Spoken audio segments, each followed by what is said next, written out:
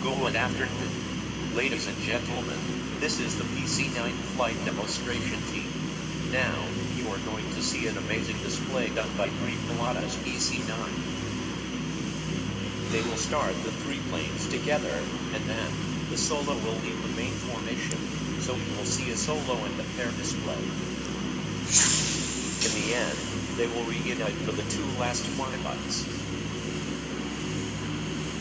There they go.